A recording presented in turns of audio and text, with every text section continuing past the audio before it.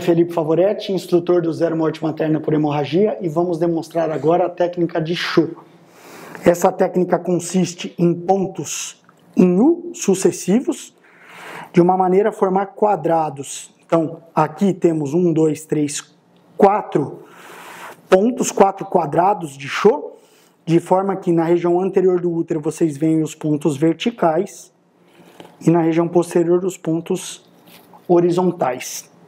É uma técnica que pode ser usada para atonia, mas sua principal indicação são para sangramentos no setor 2 e acretismo. Aqui temos mais um quadrado de show, né, que é uma sucessão de dois pontos de um em segmento.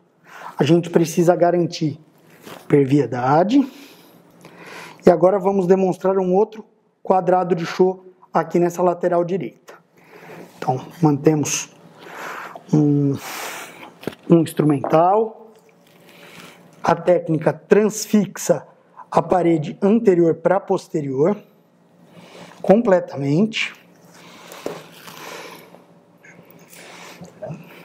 Ó, parede anterior, parede posterior. A gente retorna da parede posterior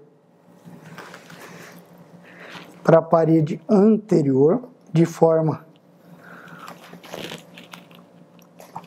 seja um ponto realmente em U, garantindo aqui toda a perviedade. Olha o U. Foi e retornou. E a técnica do quadrado em si consiste em gente fazer isso mais uma vez. Então a gente transfixa de anterior para posterior completamente e retorna.